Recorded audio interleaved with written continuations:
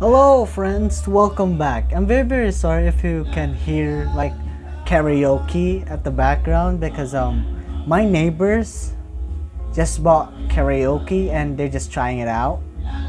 And for some reason they they're still playing it. So yeah, um I'm not going to read any comments cuz this video may actually be a long one. And we're coming back to episode what episode was it? Episode 6 of the Pacific War series by Kings and Generals. And I'm just gonna, before we start, I'm just gonna start my recording. Okay, so still zero.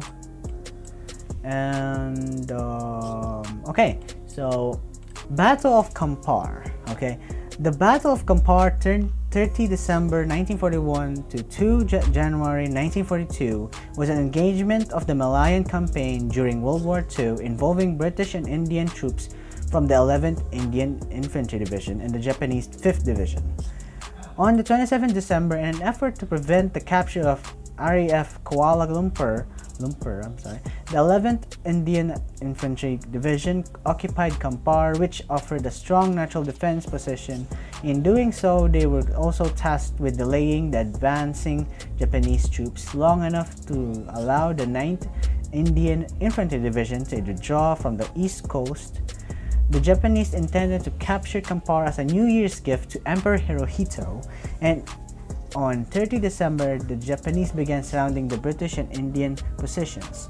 The following day, fighting com commenced.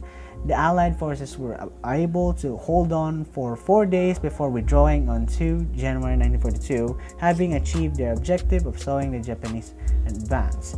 Okay, so it's actually a a gift for Emperor Hirohito, and I know the last episode was actually almost like four or five or maybe a month ago because um, we started a World War One series and if you want to see that series go check it out. It's going to be like a pop-up here or a link down below.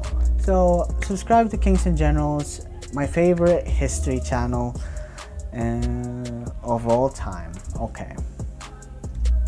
Let's go Oh yeah, by the way, I'm going to read comments maybe in the next video.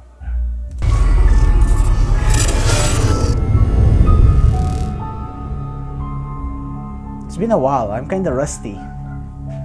Yeah, it's been a while. I'm kind of rusty. Um, we've been reacting to to Epic History TV's World War One series, so it's been a while.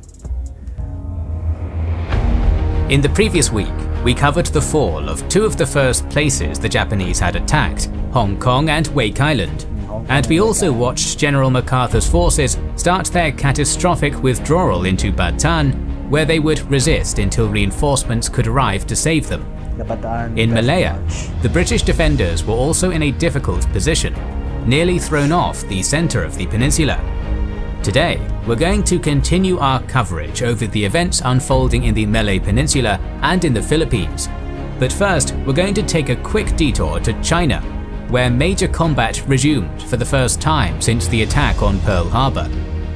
2020 Okay, so if you if you didn't know, episode 2 they talked about um, the invasion of Malaya. So now we're coming back to continue that in episode 6 there um, Kings and Generals is gonna continue the events that is happening in the Philippines and just a few fighting in China what's this okay 2021 wasn't an easy year for all of us, so we at Kings and Generals appreciate the fact that Magellan TV support. Okay, so it's an ad. Oops, sorry. I'm going to skip the ad and over here.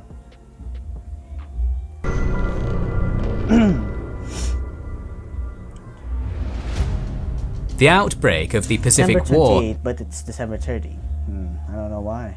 did not alter the main objective of the Japanese operations against China, That's which was the overthrow of Chiang Kai-shek's regime and the establishment of a puppet Chinese government. Most of the Japanese forces had been allocated to China since 1938, but the opening of a new front to the south meant that some divisions would have to be transferred to partake in the offensives launched in the Pacific, although the Japanese position in the region would remain strong enough to continue the occupation of most of the strategic locations that had been conquered.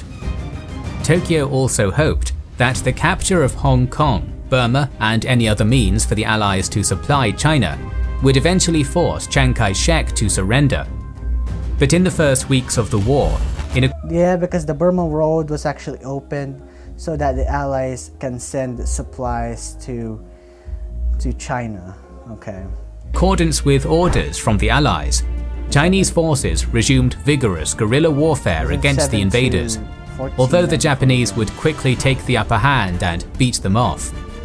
The failures of the National Revolutionary Army during these first few weeks of the war left Chiang Kai-shek unwilling to start any new major operations during the start of the year 1942. The Japanese, focused on their southern expansion through the Pacific, were also cautious about embarking on offensives against the fierce and numerous Chinese defenders. And yet there would be one exception. Back on December 13th, Lieutenant General Anami Korechika of the 11th Army had ordered his forces to prepare for a sortie south of the Yangtze River. After moving his forces south of Yoyang, the 6th and 40th Divisions began their advance at dusk, driving the Chinese defenders towards Quanwangqiao and then expelling them from the town. The following day, Anami sent the 3rd Division to travel along the Guangzhou-Hankou Railway, then crossing the Kushui near Kuyi and easily routing the 99th Army. General Xue Yue of the 9th War Area quickly reacted by moving two armies to the left bank of the Kushui, but by December 29th, all Japanese divisions had crossed the river and had started offensives against the Chinese defenders. At this point, Oh Anami recognized that the Changsha area was inadequately defended, so he decided to commit to a full-on attack to capture the city. The next day, the Japanese divisions broke through the enemy lines one by one, routing the 37th Army and then continuing their drive towards Changsha. While the 3rd and 6th Divisions were ordered to directly continue against their objective, Anami ordered the 40th to take the town of Mafengcui to the southeast before capturing Qinqing, another important city. By December Okay. Okay, so if you're wondering where where is the chat where where is the communists? Um, I forgot what episode was that. It was maybe episode three or four. Um, there there was something like an ambush happened from the nationalists that they um I forgot what division or what army was that. Um they ambushed their own like ally because before before there's like the second united front where the communists and the nationalists help each other fight off um, the japanese. But a lot of um, a lot of things happened, a lot of events, and um, there was one point like he, he Kings and General talked about it. Um, the national, some national, I don't know if it's a division or an army. Um, they ambushed a retreating communist communist army. Um, when when uh, Mao Zedong heard about this, it was the end of the Second United Front, and they refused to help um, the nationalists against the Japanese. 31st, the 6th had taken the town of Langli Langlishire, and the 3rd was already on the outskirts of Changsha. Japanese troops then started their attack on the city, managing to infiltrate the city's castle, but facing fierce Chinese resistance in the form of the 10th Army. Meanwhile, the 40th Division reached Qinqing on January 1st, starting its attack on the city one day later. The remnants of the 37th Army were easily beaten off, and by January 2nd, Qinqing had fallen into Japanese hands. At the same time, the 6th Division joined the 3rd in its assault against Changsha, slowly but surely overcoming the Chinese defenders. By January 4th, the city had fallen to the Japanese, and the main objective of Anami's operation had been achieved. But Xue Yue was now reuniting his forces for a general counterattack, and he was not going to let the enemy take his city so easily. For the Chinese counteroffensive, we'll have to wait until next week. Oh. because first we need to return to the Pacific to take a look at the operations happening in Malaya and the Philippines. On December back to 28th, the situation was desperate for the Americans under General MacArthur, forced to execute a difficult withdrawal into Bataan that required a great deal of coordination between the North and South Luzon forces. In the north, Japanese pressure had forced General Wainwright's forces to abandon their second line and to retreat to a new defensive line between the towns of San Miguel and Cabanatuan.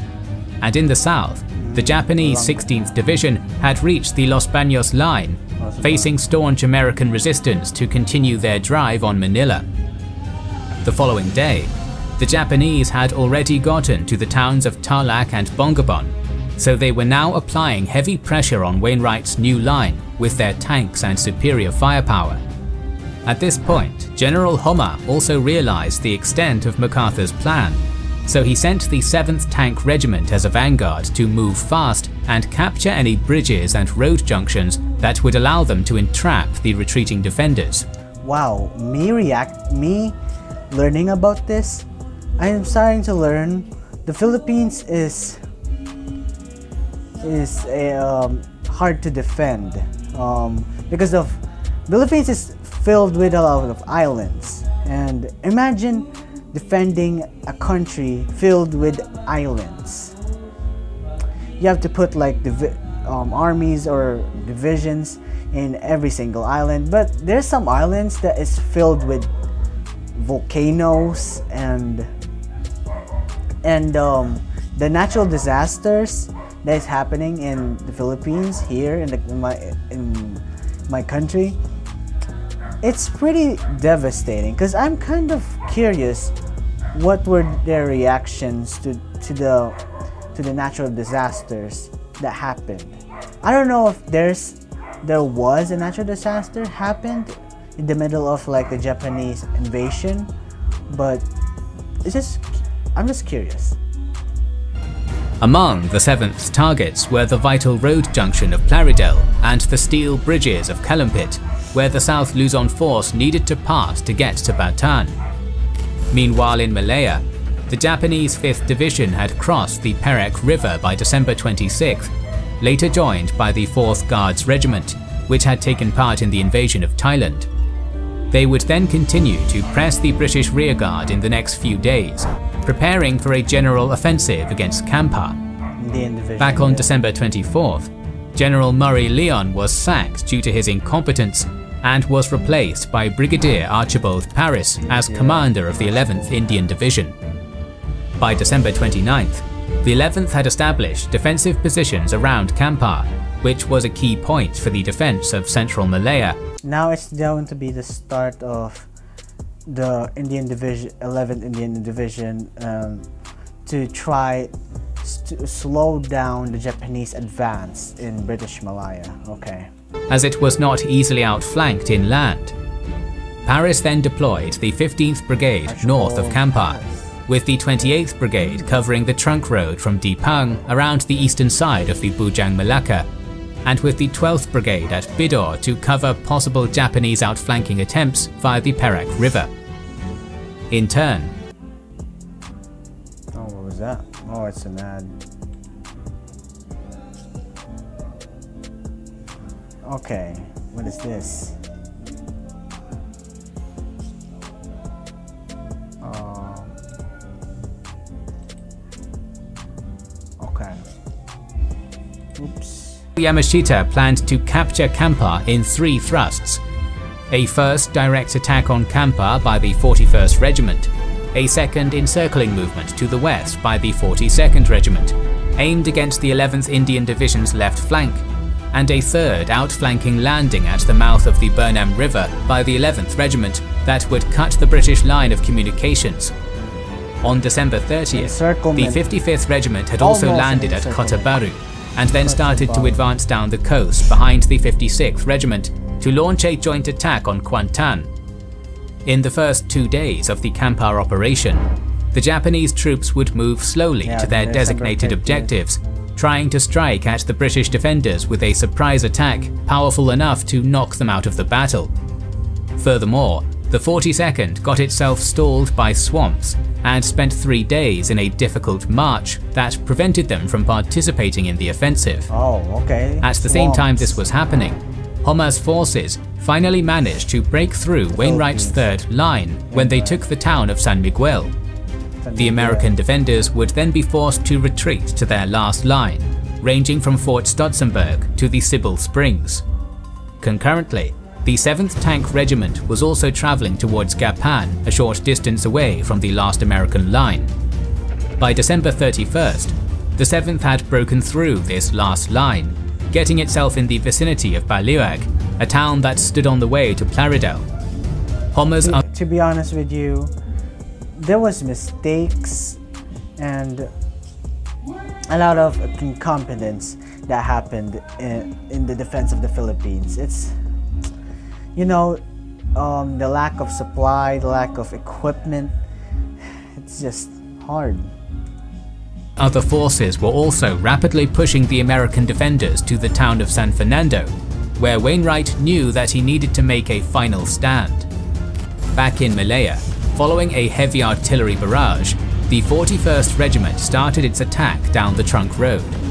British resistance was fierce, yet they barely managed to repel the enemy assault, although artillery of the 15th Brigade did inflict many losses on the Japanese regiment.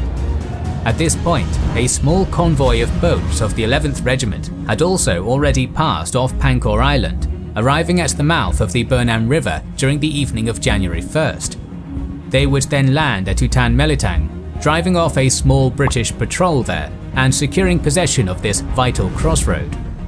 This was very bad for the Malayan defenders, posing a huge threat to their line of communications.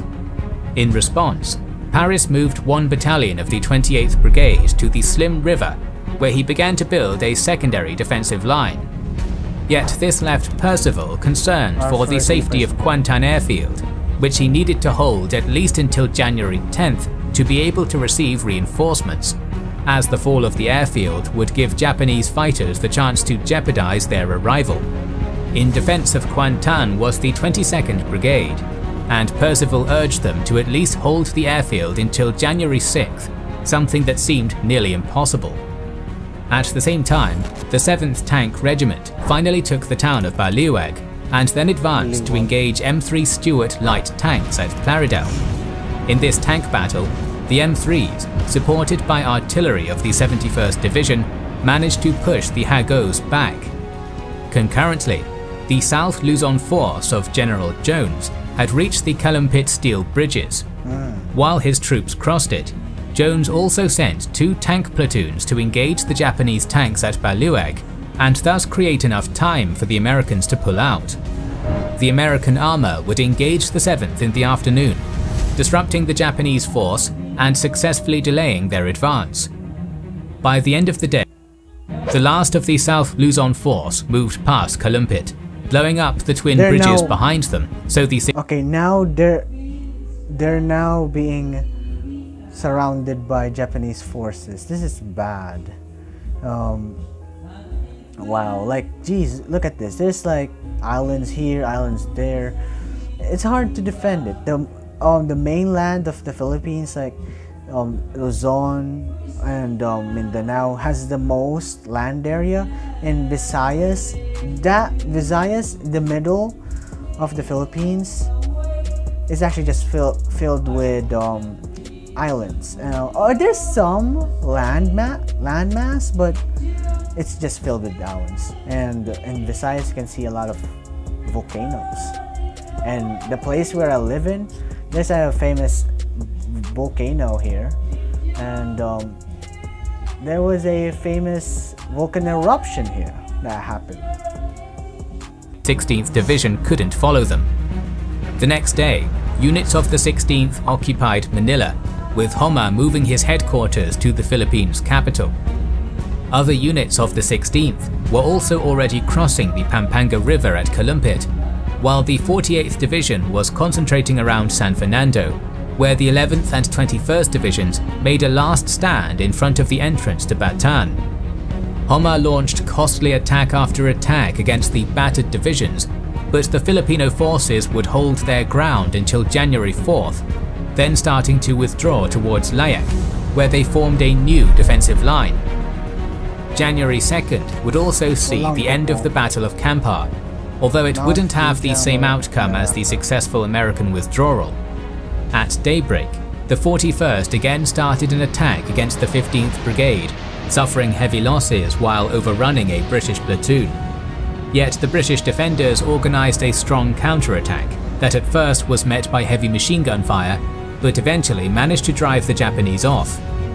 Despite the heroic resistance of the 15th Brigade, to the west, the 4th Guards Regiment landed at Telok Anson and engaged the battered 12th Brigade by mid-afternoon. Heavy fighting ensued, but the Japanese threat of encirclement was enough for Paris to order a withdrawal to the Slim River. At Kuantan, the two Japanese regiments had also crossed the river and were now heading towards the airfield. The 22nd Brigade was preparing for a difficult confrontation, but when the news of Paris's retreat reached them, the entire 11th Indian Division of General Barstow was forced to withdraw through the Kuala Lipis Jerantut Raub area. The 22nd immediately proceeded to demolish all buildings and installations in Kuantan before starting their retreat, but at night their rearguard would be caught in the midst of a Japanese attack. The Indians were demolished in the assault, losing a third of the brigade's strength, but the rest of the 22nd managed to retreat without further incident by January 3rd. That same day, the 4th Guards Regiment advanced up to the Selangor River and then turned inland towards the bridges at Batang Berjuntai, thus threatening the key city of Kuala Selangor and its valuable airfield. At the same time, General Percival received his first reinforcements at Singapore, the 45th Brigade, immediately sending them to repel the enemy advance on Selangor. But would it succeed? And would Paris's new defensive line oh. hold the Japanese invaders? For these answers, join us next week as we cover the Battle of the Slim River and the continuation of the advance down the Malay Peninsula. If you want to get the weekly coverage of the Pacific War, don't forget to subscribe and press the bell button to get notified of our videos. Please consider liking, commenting and sharing, it helps immensely. Our video Okay, so that's the end of our video. Wow. Remember Battle of Kampar is actually is actually just a um, it's not really the battle, it's not really the gift. Um, the gift there is the the land. Um, if they won, won and took took over like Kampar, that's a, a um, New Year's gift for Emperor Hirohito. So that was amazing. Wait, what? Oh, it's okay. Uh, that was amazing, guys. And I'm sorry if my background, if you can hear like karaoke, I'm very, very sorry. But anyway, this is just, this is like the shortest um, Kings and Generals Pacific Wars video that I've re recorded. Wow, 23 minutes. Anyway, so thank you for watching. Next video might actually be about like World War One, and the reason why I reacted to Pacific War is we have to finish this and I love the Pacific War and I love learning about it. So thank you for watching, like and subscribe. Comment down below anything that you know about this this uh, this battle. Goodbye.